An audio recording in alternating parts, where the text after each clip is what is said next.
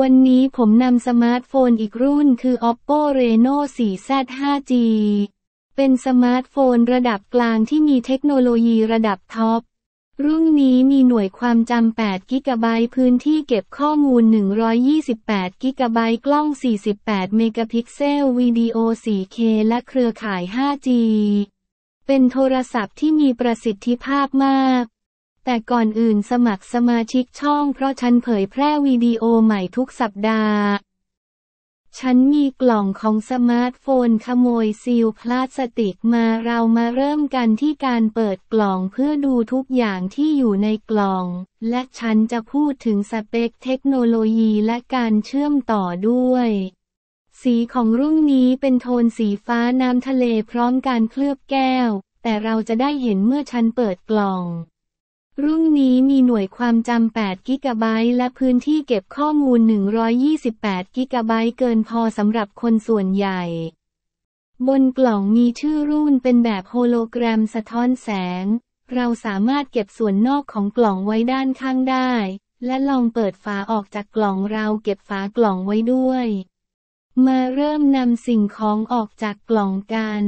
ด้านบนเรามีกล่องบางๆ ที่มีฝาพลาสติกป้องกันและด้านล่างเรามีสมาร์ทโฟน เริ่มกันที่การแกะกล่องสมาร์ทโฟน Oppo Reno 4Z 5G ด้วยเครือข่าย 5G จอแสดงผล 120 Hz กล้องหน้าเลนส์คู่และกล้อง 4 ตัวมุมกว้างพิเศษ 48 ล้านพิกเซล เซ็นเซอร์สแกนลายนิ้วมือที่ด้านข้าง กล้องสี่ตัวที่ด้านหลังและกล้องสองตัวที่ด้านหน้ามาดูกันว่าในกล่องมีอะไรมาให้บ้าง ในกล่องที่อยู่ด้านบนนี้มีเครื่องมือโลหะสำหรับถอดช่องเสียบการ์ดโทรศัพท์ออก เพื่อเชื่อมต่อกับเครือข่ายการสื่อสารของคุณนอกจากนี้ยังนำเอกสารคู่มือเริ่มต้นฉบับย่อและข้อมูลของโทรศัพท์มาด้วย แต่ยังมาพร้อมฝาครอบป้องกันสมาร์ทโฟนแบบใส ในกล่องเรายังมีของอีกเพียบ เรามีเครื่องชาร์จไฟเป็นเครื่องชาร์จขนาด 18 วัตต์ พร้อมปลั๊ก USB Type A ทั้งหมดในสีขาวและมันหนัก เรายังมีสายเคเบิลหนึ่งสายสำหรับการชาร์จไฟและถ่ายโอนข้อมูล ที่ห่อพลาสติกมาอย่างดี แต่เราจะเห็นว่าเป็น USB ชนิด A เพื่อเชื่อมต่อกับหม้อแปลง และด้วย USB ชนิด C เพื่อเชื่อมต่อกับสมาร์ทโฟน และสุดท้ายมันยังมีหูฟังซึ่งใช้การเชื่อมต่อ 3.5 มิลลิเมตร และนั่นคือทั้งหมดไม่มีอะไรอื่นมาในกล่อง สมาร์ทโฟนรุ่นนี้ที่ด้านล่างมีการเชื่อมต่อ USB-C และการเชื่อมต่อเสียง 3.5 มิลลิเมตร และนั่นคือทั้งหมดที่อยู่ในกล่องของสมาร์ทโฟนเครื่องนี้ ฉันจะจัดทุกอย่างบนโต๊ะให้คุณเห็นพอดี และด้วยการจัดทุกอย่างบน เรามีโทรศัพท์ ฝาครอบป้องกัน เครื่องมือ เอกสาร เครื่องชาร์จ สาย USB และหูฟัง หลังจากนั้นฉันจะพูดถึงรายละเอียดเกี่ยวกับเทคโนโลยีและข้อมูลจำเพาะของสมาร์ทโฟนเครื่องนี้ และแสดงทุกสิ่งที่คุณจำเป็นต้องรู้เกี่ยวกับโทรศัพท์เครื่องนี้ นี่คือโทรศัพท์ที่ทรงพลังมาก เหมาะสำหรับการทำงานการผลิตและการพักผ่อนแต่มาดูสเปคกัน เกี่ยวกับหน่วยความจำ มีหน่วยความจำ8กิกะไบต์ พื้นที่เก็บข้อมูล 128กิกะไบต์ โปรเซสเซอร์ MediaTek Dimensity 800 5G ด้วย 8 core และกราฟิกด้วย ARM Mali G57 MCC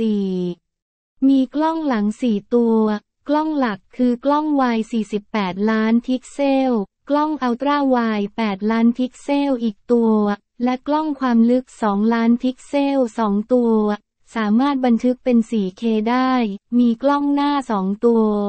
กล้องวาย 16 ล้านพิกเซล 1 ตัว และกล้องความลึก 2 ล้านพิกเซลอีกตัว สามารถบันทึกเป็น 1080p ได้ หน้าจอมีเส้นทะแยงมุม 6 57 นิ้ว ด้วยความละเอียด 1080คูณ2400 พิกเซล ด้วยอัตราการรีเฟรช 120 เฮิรตซ์หน้าจอ IPS LCD 480 nit ด้วยกระจกกันรอย Gorilla Glass 3 บวก มีขนาดความกว้าง 164 มิลลิเมตร สูง 75 มิลลิเมตร และหนา 8 มิลลิเมตร และมีน้ำหนัก 184 กรัม มันมีการเชื่อมต่อ USB Type C 2.0 สำหรับข้อมูลและพลังงาน ปลั๊ก 3.5 มิลลิเมตร สำหรับหูฟัง นาโนซิม 2 ใบ เครือข่าย 5G และ 4G Wi-Fi 5 Bluetooth 5.1 ระบบกำหนดตำแหน่งบนพื้นโลก และเครื่องอ่านการ์ด NFC มีเซ็นเซอร์หลายตัว เครื่องอ่านลายนิ้วมือ กล้องที่มีการจดจำใบหน้า มาตรความเร่ง ไจโรสโคป ความใกล้ชิด และเข็มทิศ แบตเตอรี่มีกำลังไฟ 4,000 มิลลิแอมป์ชั่วโมง ชาร์จผ่าน USB-C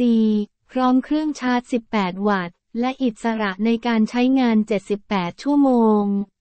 และนั่นคือคุณสมบัติและเทคโนโลยีทั้งหมดของสมาร์ทโฟนเครื่องนี้ แต่ฉันจะทำการสาธิตและทดสอบแบตเตอรี่ของโทรศัพท์เครื่องนี้